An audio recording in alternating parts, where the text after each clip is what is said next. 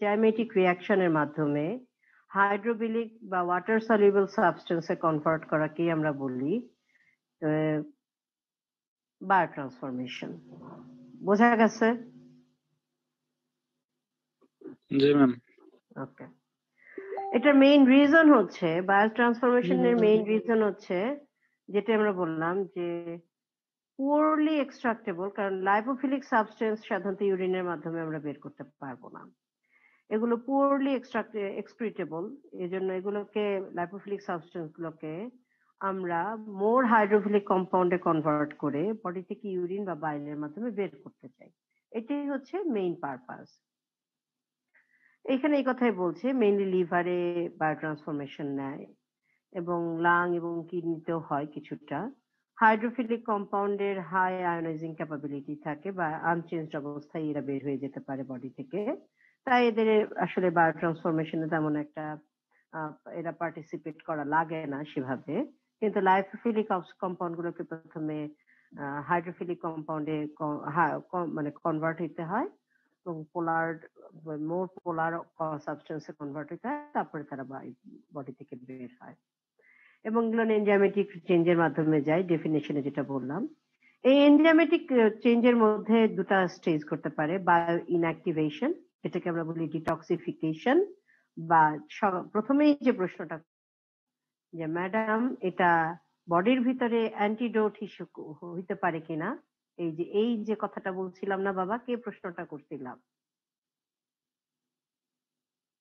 কে জানি করছিলা বাবা প্রশ্নটা? কি সে কি নাই? আমাকে কি তোমরা শুনতে পাচ্ছ? জি ম্যাম শুনতে পাচ্ছি একজন একটা প্রশ্ন করছিল না অ্যান্টিডোট নিয়ে বডির ভিতরে অ্যান্টিডোট হয় কিনা? জি ম্যাম আব্দুল হাকিম করছিল। ও বোধহয় নাই এখন না? নেট থেকে চলে গেছে।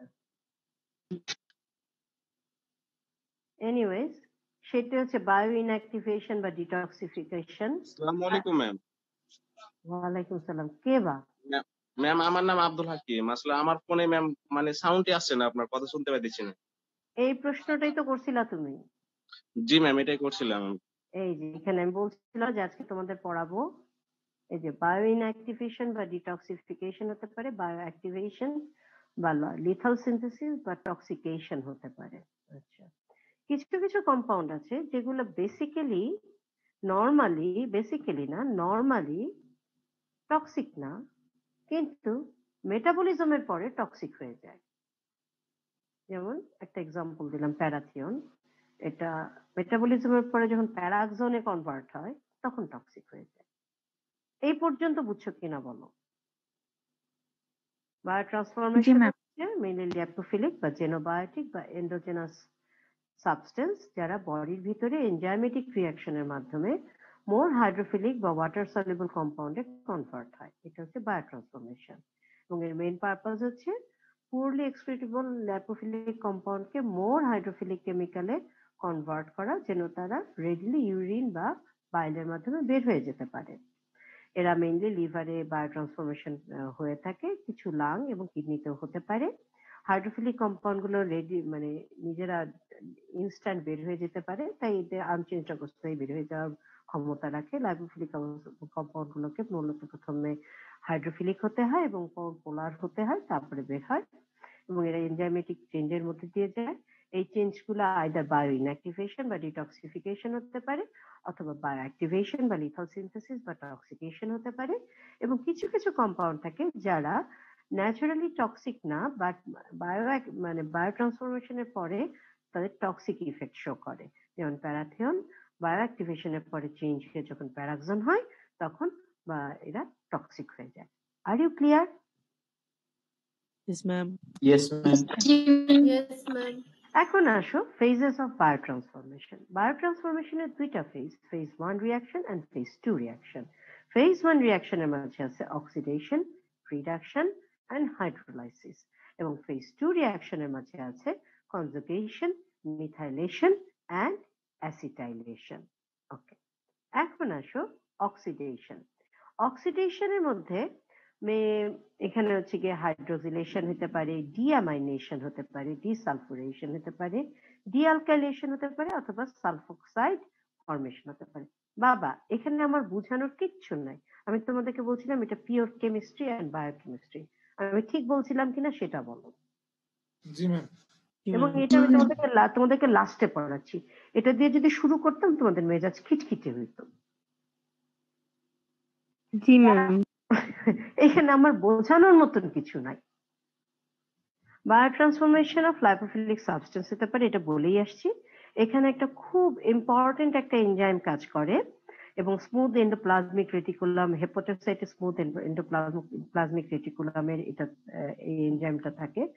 সেটা হচ্ছে সাইটোক্রোম পি ফোর ফিফটি এই এনজাইমটা mixed mixed function oxidase enzyme এবং এই অক্সিডেশনের এই আটটা এনজাইমের নাম ঠোঁটের আগায় রাখতে হবে তোমাদের। এটা পরীক্ষায়ও আসে, ভাইভাতেও জিজ্ঞেস করা হয়। আমি কিন্তু পড়ানোর সময় বারবার তোমাদেরকে বলে দিই, এটা কিন্তু কখনোই ভুলে যাবে না। Please memorise this list it is very very very important আমি এর থেকে বেশি আর কিছুই বলতে পারব না। আমি এটা তোমাদের শিখাই দিতে পারব না। ঠিক আছে? মনে থাকবে? এখানে হচ্ছে কি একটা উদাহরণ অক্সিডেশন রিঅ্যাকশনের অ্যাসিটান অ্যাসিটা অ্যাসিটানেলাইট হচ্ছে হাইড্রোক্সিলেশন আমাদের প্যারাসিটামল কোডেইন ডিঅ্যালকালাইজেশন আমাদের মরফিন এই যে আমি তোমাদেরকে এখানে যে নামগুলো বলছিলাম হাইড্রোক্সিলেশন ডিঅ্যামিনেশন ডিসালফারেশন ডিঅ্যালকাইলেশন এই সবগুলোর উদাহরণ হচ্ছে এখানে আছে। এখানে আমি তোমাদের কি বুঝাবো? আমাকে বলো তো। এটা তোমাদের মুখস্থ করা ছাড়া আমি কি বুঝাবো? আমার বুঝানোর ক্ষমতা যতটুকু ছিল আমি ক্ষমা বুঝাই দিয়ে আসছি তোমাদেরকে। এখন তোমরা আমারে বকো, দাও, বকো সাপ সাপান্ত করো, যাই করো, আমার কিচ্ছু করার নাই। এখন আসো রিডাকশন রিডাকশন হচ্ছে অক্সিডেশন থেকে লেস কমন এটা জেনোবায়োটিক রিডিউসিং এনজাইম দিয়ে হয় এবং রিডাকশনের গ্রুপগুলো হচ্ছে carbonyl group nitro group, azo group. এবং এখানে সাধারণত এনএডিপিএইচ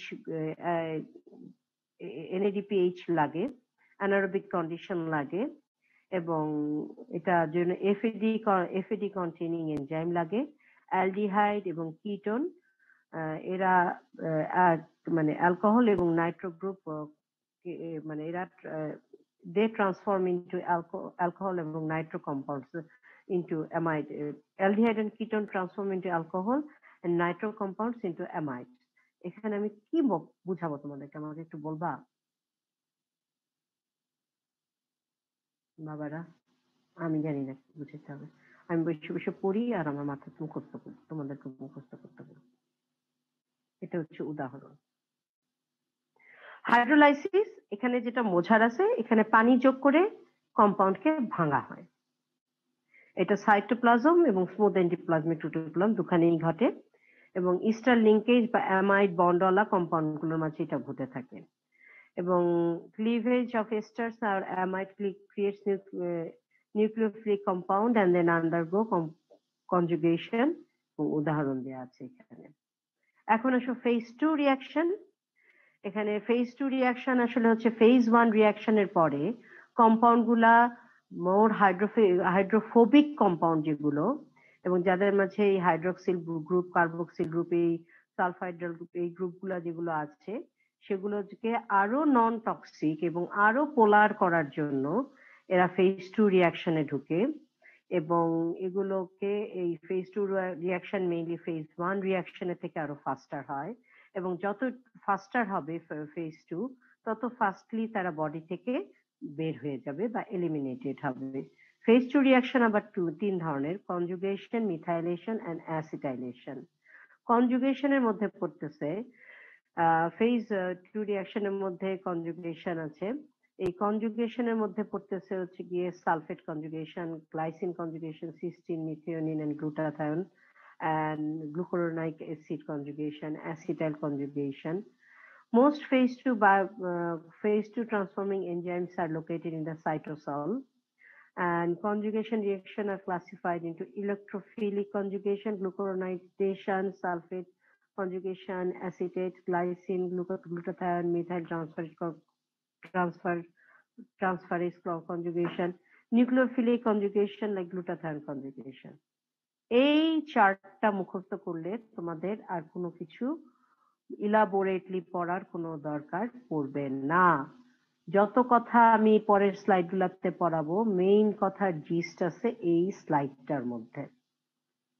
পরে আমি যত কিছু পড়াবো মেইন কথাগুলো এখানে আছে, যেমন গ্লুটাথায়ন কনজুগেশনের ফাংশনাল গ্রুপ কারা এবং কনজুগেট কে গ্লুটাথায়ন সালফেট এস্টার কনজুগেশনে কারা? ফাংশনাল গ্রুপ এই কথাগুলো পড়লে এইটা হচ্ছে গিয়ে তোমাদের জিস্ট এটা মনে রাখলে তোমরা যে কোনোটা অন্তত মেইন কথাগুলো লিখে ফেলতে পারবা। এই স্লাইডটা তাই খুব ইম্পর্টেন্ট এই টেবলটা তোমরা মনে রাখবা। এটা হচ্ছে গিয়ে তোমাদের কি নোটের মতন তোমাদের। গ্লুকোরোনাইডেশন স্মুথ এন্ডিপ্লাজমিক রেটিকুলামে হয়। এই যে গ্লুকোরোনাইড ট্রান্সফারেজ এনজাইম এখানে হচ্ছে। তারপরে হচ্ছে গিয়ে phenol alcohol carboxylic acid hydroxylamine mercaptan hydrolyzed in gut and excreted via bile এটা আবার লিভারে রিঅ্যাবজর্বড হবে। তারপরে হচ্ছে গিয়ে কোথায় স্লো কোথা থেকে বের হচ্ছে, এই কথাগুলি আছে। Sulphation phase two common phase two reaction এটা সালফাইটে হয় সালফেটে হয় না। আর এটা এটা mainly aromatic and aliphatic hydroxyl গ্রুপে হয়। মেইনলি এটা এই ইউরিন দিয়ে বের হয়ে যায়। এগুলো তোমাদেরকে দেখা যাবে যে পরীক্ষায় অথবা আমরা দিলাম ফাইনালে হয়তো বা দিলাম যে ফেস টু রিয়াকশন সম্বন্ধে লেখো, কিংবা ক্লাস টেস্টে দিলাম যে সালফেশন সম্বন্ধে লেখো, বা প্র্যাকটিক্যাল পরীক্ষায় তোমাদেরকে দিলাম যে এই টেবিলটা সম্বন্ধে লিখতে দিলাম। তো তোমাদের জন্য এটা মনে রাখা ছাড়া কোনো কিছু করার নাই বাবা। আমি কি বুঝাইতে পারতেছি? এখানে আমার আমার বুঝায় বলার মতনও কিছু নাই। এখানে আমার কন্ট্রিবিউট করার মতন যে কি আছে আমি না আসলে জানি না বাবা। আমি কি কন্ট্রিবিউট করব? Glutathione conjugation it involves enzymatic and non enzymatic reaction enzymatically catalysed break glutathione S transferase non-enzymatically low molecular weight uh, scavenger or radioactive of radioactive electrophilic genobiotics competes with DNA, RNA, and protein to capture electrophiles. তারপরে glutathione কনজুগেশনটা আসলে glutathione conjugates are formed in liver, excreted intact in bile. একটা জিনিস মনে রাখবা glue- সবগুলো কনজুগেশনে এরা কোথায়, এরা মানে কনজুগেটস কোথায় ফর্ম হচ্ছে এবং কোথা দিয়ে বের হচ্ছে এক্সক্রিটেড কোথায়, এই কথাগুলো ইম্পর্টেন্ট কোনো কিছুই যদি মনে রাখতে না পারো, কোথায় ফর্ম করতেছে এবং কোথা দিয়ে বের হচ্ছে, আর এই যে টেবিলটা এইটুকু যদি লিখতে পারো কোনো কনজুগেশনের ক্ষেত্রে, তাতেও কিন্তু তোমরা অ্যাটলিস্ট এইটটি পার্সেন্ট মার্কস পেয়ে যাবে ওই কনজুগেশন সম্বন্ধে। অন্তত এইটুক তোমরা মনে রাখার চেষ্টা করো যে ফাংশনাল গ্রুপ কনজুগেট কোথায় হচ্ছে এবং কি দিয়ে বের হয়ে যাচ্ছে। এটুক হলেও তোমরা এইটটি পার্সেন্ট মার্কস পাবা। কারও যদি পুরাটা মনে রাখতে কষ্ট হয়, অন্তত অতটুকু মনে রাখতে লেখো। তোমরা তাতেও এইটটি পার্সেন্ট মার্ক পাবা। অ্যাসিটাইলেশন হচ্ছে মেজর পাথওয়ে ফর এক্সোবা জেনোবায়োটিক দেখো বানান লিখছি xenobiotic having aromatic amine and hydrogen group carried out uh, carried out by cytoplasmic enzyme in acetyl transferase. Acetyl donor is acetyl enzyme coenzyme A. Acetylation decreases water solubility as well as lipid solubility. Glutathione conjugation important. Glutathione conjugation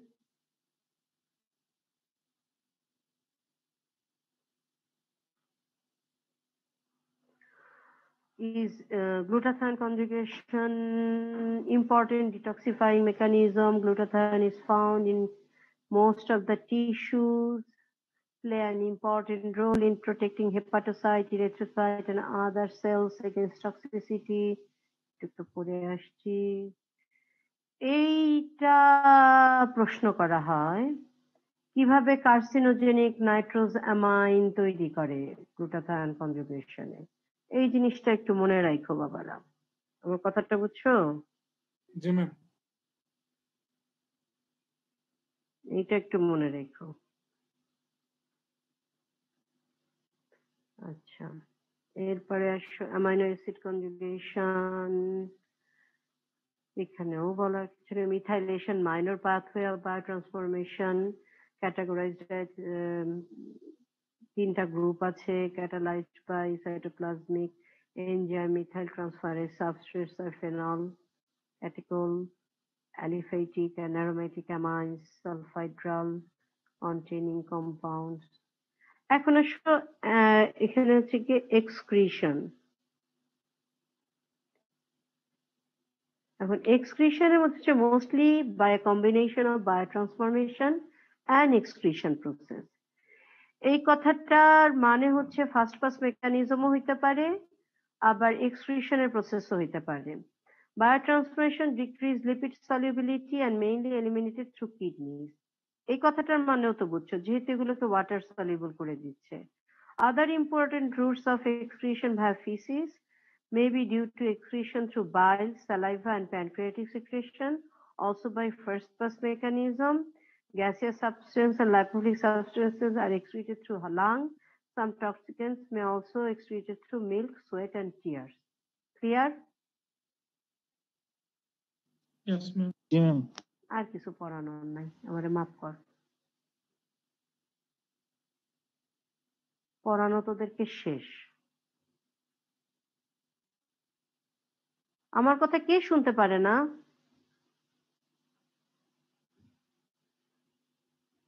Rashidul ইসলাম।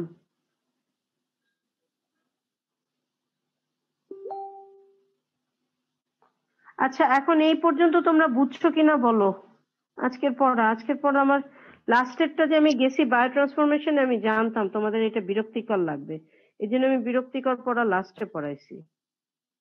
এখন আমাকে বলো যে তোমাদের পড়া নিয়ে এখন তোমাদের বলার কি আছে? ম্যাম সবগুলো উদাহরণ কি পড়তে হবে একদম? জি বাবা পড়তে হবে একদম। মনে রাখব কীভাবে ম্যাম এতগুলা বাকি- বাকিরা যেমনি মনে রাখছে এতগুলা বছর আমরাও মনে রাখছি। তোমাদের কাজই হচ্ছে মনে রাখা। ছাত্র না? জি ম্যাম। ছাত্র জীবনের কাজই মনে রাখা বাবা। আর কিছু বলবা? না ম্যাম ছাত্র জীবন কাজই হচ্ছে মনে রাখা। কি করব বাবা?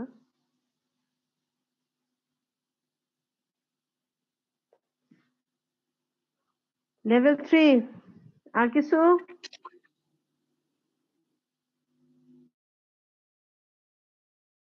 আগ লেভেল থ্রি সব ক্লাস ছেড়ে যা যা।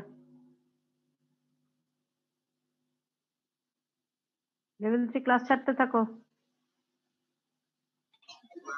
আসসালামু আলাইকুম ম্যাডাম আসসালামু আলাইকুম ma'am madam level two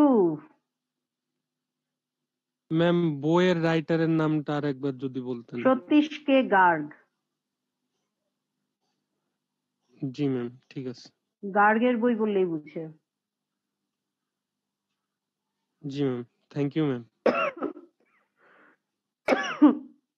excuse me আচ্ছা লেভেল টু তোমরা কোথা থেকে এসে পড়াটা ধরছো বাবা বলো তো?